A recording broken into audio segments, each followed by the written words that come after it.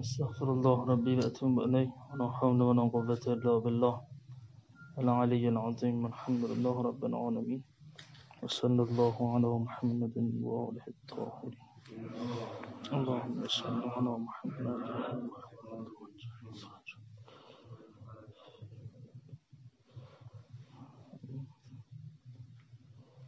حقیر هم واقعا تشکر عرض می کنم بابت اینکه همه دوستان در جلساتی که گرفته میشه با رعایت پروتکل های بهداشتی حضور پیدا می کنند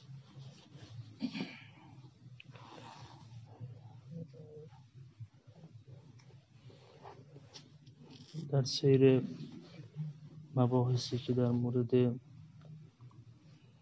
تهذیب خانوادگی بیان می کردیم رسیده بودیم به محاسبه لحظه و مراقبه دائمی و و برخی از روایات و آیات خانوادگی رو بیان می کردیم با تأکید چند ماهه دوستان و رفقای انقلابی که پیشنهاد داده می‌شد که حتما این آثار و کتب و اندیشه های حضرت امام حتما گفته بشه. تا اینی که در این دهه مبارک فجر شروع کردیم به بازخانی آثار حضرت امام رضوان الله تعالی علیه. و اولین کتابی هم که دوستان تأکید داشتن کتاب چند حدیث بود. حدیث اول رو مورد بازخانی و در حد روخانی انجام دادیم. حدیث دوم در مورد عدم اخلاص هست که حضرت امام رضوان الله تعالی علیه در سه مقام این حدیث رو بیان می‌کنن. مقام اول در بیان اقسام ریا هستش در بیان علم غیر از ایمان هست. وخامت ریا تنبیه علمی برای قلع و کردن ریا. دعوت به اخلاص هست. مقام دوم هم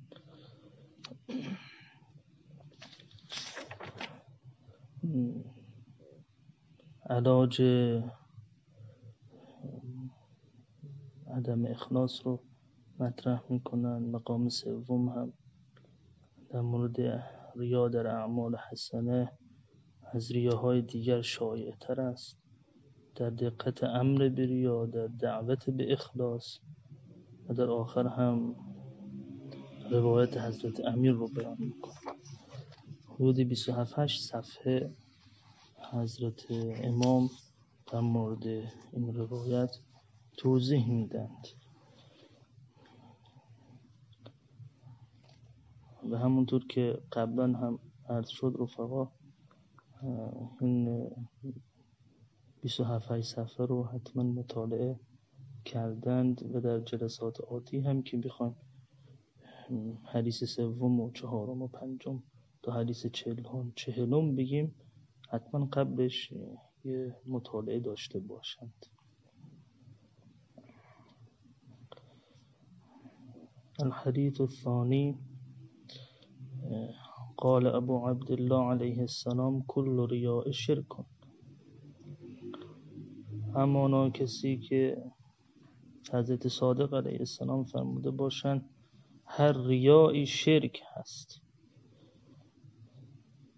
انه من عمل للناس كان ثوابه على الناس ومن عمل لله كان ثوابه على الله. همانا کسی که کار کند برای مردم می باشد ثواب او در مردم. و کسی که عمل کند برای خدا ثوابش هم برای خود خدا هست. یا در کتاب کافی شریف هست که علی ابن سالم نقل می کند که سمعت ابا عبدالله علیه السلام یقول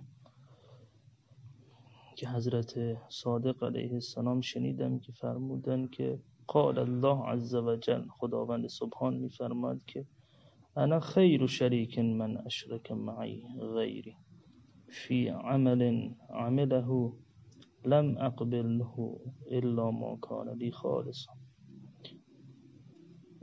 خداوند سبحان میگه من بهترین شریک هستم. کسی که با من شریک قرار دهد غیر مرا در کاری که کرده است قبول نکنم او را مگر آن که برای من خالص باشه خدا شریک خوبی هست. کسی که 90 درصد کارش رو برای خدا انجام بده ده درصد برای مردم. خدا میگه من شریک خوبی هستم. اون 90 درصدی که برای منم انجام دادی میدمش به مردم. چون من ازت اخلاص رو می‌خوام. این اخلاص واقعا خیلی مهم هست.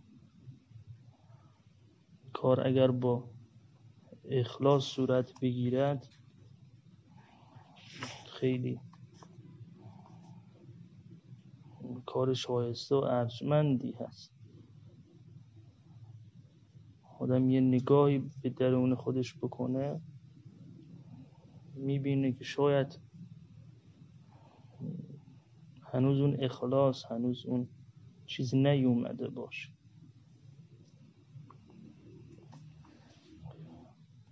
حالا چند خطی از کلام نورانی امام رو بخونیم. ای عزیز بیدار شو و غفلت و مستی را از خود دور کن و در میزان عقل بسنج اعمال خود را قبل از آن که در آن عالم میزان کنند و حساب خود را بکش قبل از آن که از تو حساب کشند. و آینه دل را از شرک و نفاق و درویی پاک کن و مگذار زنگار شرک و کفر او را طوری بگیرد که به آتش های آن عالم پاک نگردد. نگذار نور فطرت مبدل به ظلمت کفر ظلمت کفر شود. قسمت اول حضرت امام نگاهشون به همون محاسبه لحظه ای هست. نگذار فطرت الله التي فطر الناس علیها ضایع گردد. اینقدر خیانت مکن بر این امانت الهی. پاک کن آینه قلب را تا نور جمال حق در او جلوه کند و تو را از عالم و هر چه در اوست بینیاز کند و آتش محبت الهی در قلب افروخته شده تمام محبت ها را بسوزاند. که همه عالم را به یک لحظه آن ندهی. خب آدم برای عدم اخلاص یا ریا نگاهش به این هست که حالا فلانی ببینه فلانی مثلا محبت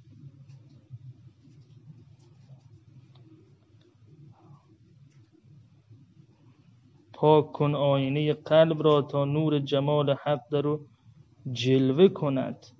و تو را از عالم و هر چه در اوست بینیاز کند و آتش محبت الهی در قلب افروخته شده تمام محبت ها را بسوزاند که همه عالم را به یک لحظه آن ندهی. این چه محبتی هست که در توحید چه محبتی هست که در شرک و درویی و ریا نیست؟ چه لذت و بهجتی در اخلاص هست که در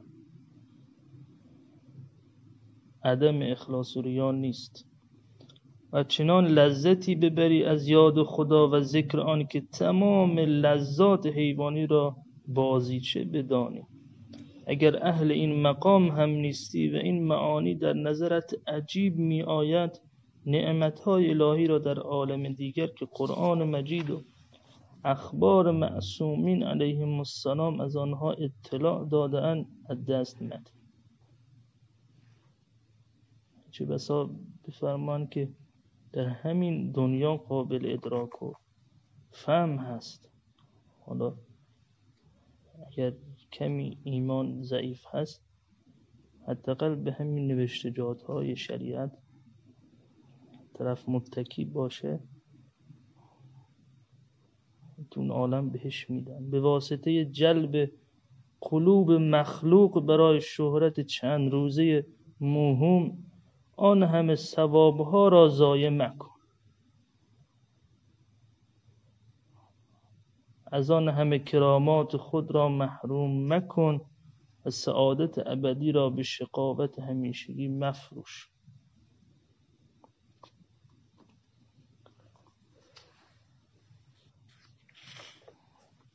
مطالب مهمی و علمی گفته میشه اما چون در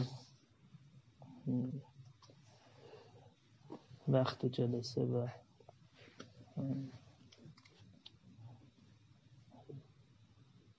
چی هست به خاطر این برخی است. اینها رو می‌خونیم. برخی هم در احادیث بعدی که می‌خوان حضرت امام توضیح بدن میارند در فصل دوم هم حضرت امام میفرمان که ای عزیز بیدار شو و پنبه غفلت را از گوش برون کن. و خواب غفلت را بر چشم خود حرام نما و بدان که تو را خدای تعالی برای خود آفریده است. چنانچه در حدیث قدسی میفرماید یبن آدم خلقت الاشیاء لاجلک و خلقتک لاجلی نوع نگاه وقتی می‌خواد وارد بس عدم اخلاص بشه حضرت امام اینجوری وارد میشه که معرفت نفس داشته باش. این گوهر وجودی خودت رو بفهم که به خاطر یه چند روزه مهم نگاه و شهرت مردم مفروش اون گوهر رو. گوهر چی هست؟ خلقتک لعجلی. من توی آدم رو خلق کردم که برای خودم باشی. ولی اما ریا وقتی چی شد یه براش چیزهای مردم حرف مردم نگاه مردم صحبتهای مردم اینها ملاک میشه. اینکه ریا شرک کن یعنی همین. برای خودش در حقیقت مشرک هست. چون در عین حالی که برای خداش مهمه که چه مطلبی هست مردم هم براش مهم. حالا عرف رو انسان باید مراعات بکنه. اینطور نیست که حالا بخواد از عرف تخطی بکنه. اما وظیفه شرعی و عقلی عرفیش انجام بده نگاهش هم به خدا باشه توی تمام مسائل. یعنی پسر آدم همه چیز را برای تو آفریدم و تو را برای خود آفریدم و قلب تو را منزلگاه خود قرار داده. تو قلب تو یکی از نوامیس الهیه هستند. حق تعالی غیور است نسبت به ناموس خود. خب وقتی طرف ریا بکنه براش کلام مردم مهم باشه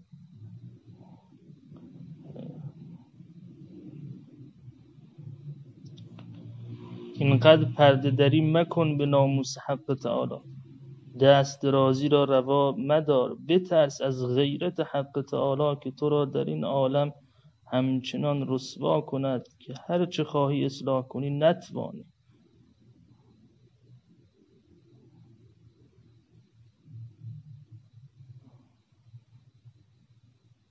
آره حقیر خودم رو عرض می‌کنم. یه لحظه اون ستاریت و غفاریت الهی بره کنار دیگه اصلا روم نمیشه به کسی نگاه کن تو در ملکوت خود در حضور حضرات ملائکه و انبیاء ازام پرده ناموس الهی را پاره می‌کنی و اخلاق فاضله را که به واسطه آنها اولیا تشبه به حق پیدا می‌کنن تسلیم غیر حق می‌کنی. اخلاص رو دور میندازی میری به سمت اینی که بخوای برات مردم مهم باشن. تسلیم غیر حق می‌کنی و قلب خود را به دشمن حق می‌دهی و شرک میورزی در باطن ملکوت خود. حضرت امام هم در حدیث قبلی و هم در این حدیث به حقیقت ملکوتی باطنی اشاره می‌کنن که انشاءالله در احادیث بعدی تغییر توضیح خواهم داد.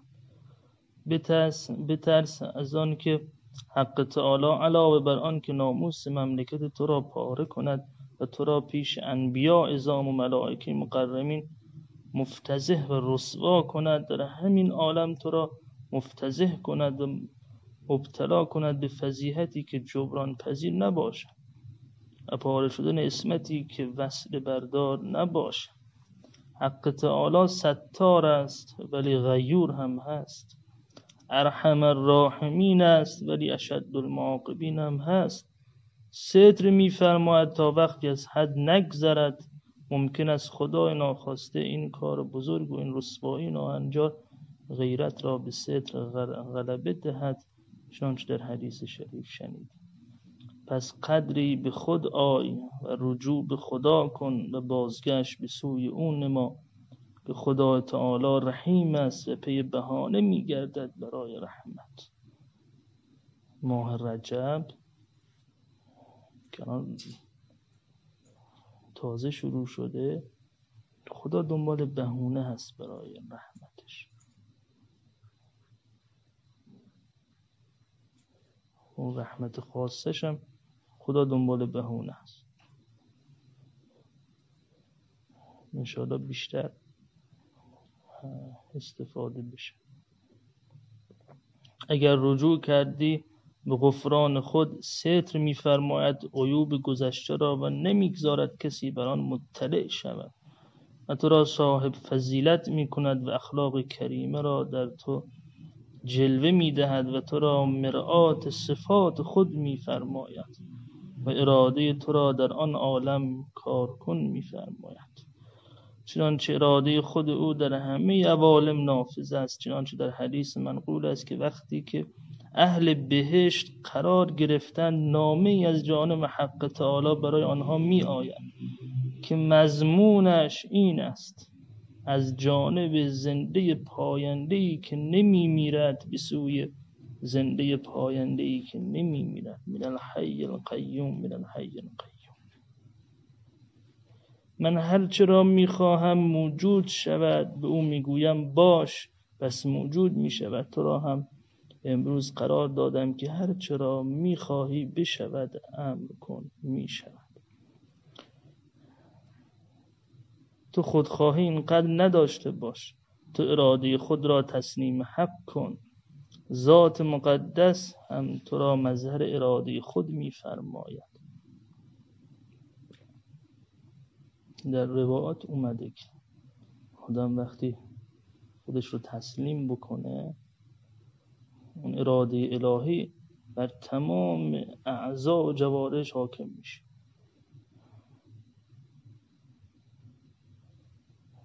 این که در برخی روایات اومده که کسی که بر نوافل احتمام به ورزه من خدا میشم چشمش که با اون چشم می‌بینه. من خدا میشم گوشش که به اون گوش میشنوه.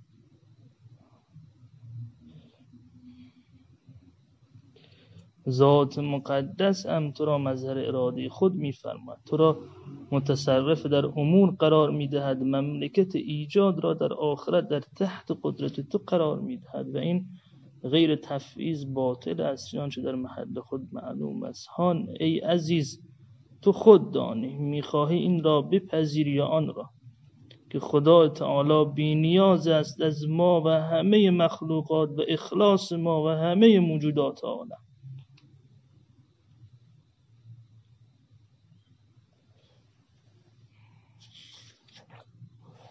مقام سوم هم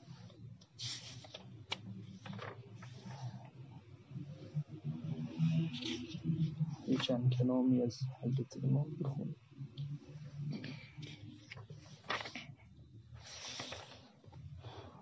حال ای عزیز فکری کن و چاره برای خود پیدا کن و بدان که شهرت پیش این مردم ناچیز چیزی نیست و قلوب این مردم که اگر گنجشکی بخورد سیر نمیشه. قدر و قابلیتی ندارد و این مخلوق ضعیف را قدرتی نیست. قدرت فقط در دستگاه قدس ربوبیت پیدا می شود و فائل علی الاطلاق و مسبب الاسباب آن ذات مقدس است. تمام مخلوقات اگر پشت به پشت هم دهند که یک پشه خلق کنند نتوانند. آیات شریف است. اگر پشه از آنها چیزی برو باید نتوانند پس بگیرند. قدرت پیش حق تعالی است. او است مؤثر در تمام موجودات با هر زحمت و ریاضتی شده در قلب خود با قلم عقل نگارش ده که لا مؤثر فی الوجود الا نیست کار کنی در دار تحقق جز خدا. توحید فعلی را که اول درجه توحید است در قلب با هر وسیله است جایگزین کن و قلب را مؤمن و مسلم نما. به این کلمه مبارکه و و مهر شریف لا اله الا الله را بر قلب بزن. و صورت قلب را صورت کلمه توحید کن و مقام اطمینان برسان و به او بفهمان که مردم نفع و ضرر نمی‌توانند برسانند. نافع و زار خداست. این کوری و نابینایی را از چشم خود برطرف کن که بیم آن است که مشمول رب لم حشرتنی اعما گردی. و در روز به روز سرایر کور محشور گردی. اراده حق تعالی قاهر به همه ارادات است. اگر قلبت به این کلمه مبارک اطمینان حاصل کرد و او را تسلیم به این عقیده نمودی امید از کارت به انجام رسد و ریشه شرک و ریا و کفر و نفاق از قلبت قطع شود. و بدان که این عقیده حق مطابق با عقل و شریعت است و توهم جب در این نیست. ممکن است بعضی ها که از مبادی و مقدمات آن بی و گوش آنها آشنا به بعضی مطالب نیست این را رمی به جبر کنند و با اینکه مربوط به جبر نیست این توحید است. جبر شرک است. این هدایت است جبر زلالت است. اینجا مناسب بیان جبر و قدر نیست. ولی پیش اهلش مطلب روشن است و غیر آن را حق ورود در این مطالب نیست. حق ورود در این مطالب نیست. بلکه صاحب شریعت فرمود است از دخول و ورود به این مطالب. حالا اینجا بیشتر مباحث علمی در هر حال از خدای مهربان در هر وقت خصوصا در خلوات با تضرع استکانت و عجز و مزلت بخواه که تو را هدایت کند به نور توحید و قلب تو را منور کند به بارقه غیبی یک بینی و یک پرستی. تو از همه عالم وارهی و همه چیز را ناچیز دانی و با تضرع از آن ذات مقدس خواهش کن که اعمال تو را خالص گرداند. و تو را هدایت فرماید به طریق خلوص و ارادت. و اگر دارای حالی شدی این بنده ضعیف بدتار خالی از حقیقت را که عمر خود را صرف هوا و نفس نموده و دل او از کدورت معاصی و امراض قلبی طوری شده است که هیچ نصیحتی و هیچ آیه و روایتی و هیچ برهان دلیل و آیتی در او اثر نمی کند به دعایی یاد کرده شاید به دعای شما راه نجاتی پیدا کند. زیرا که مؤمن را خدا رد نمی کند از درگاه خود به دعای او را میپذیرد. پس از تذکر به این مطالب که خودت نیز می‌دانستی و حرف تازه نبود مدتی مواظبت کن از قلب خود. و اعمال و رفتار و حرکات و سکنات خود را تحت مداقه آور برای اینکه این ریا که از اقسام شرک است و این عدم اخلاص بره حضرت امام دو تا توصیه مهم اینجا دارن. یکیش که خونده شد که تضرع هست خواستن هست. اینکه انسان با تمام قلبش بخواد که به سمت اخلاص و تقرب بره. مورد بعدی همون محاسب لحظه ای هست. مدتی مواظبت کن از قلب خود و اعمال و رفتار و حرکات و سکنات خود را تحت مداقه آورده. خفایای قلب را تفتیش کن و حساب شدید از او بکش. مثل اینکه اهل دنیا از یک نفر شریک حساب می‌کشن هر عملی را که شبهه ریا و سالوسی در اوست ترک کن هر چند عمل خیلی شریفی باشد.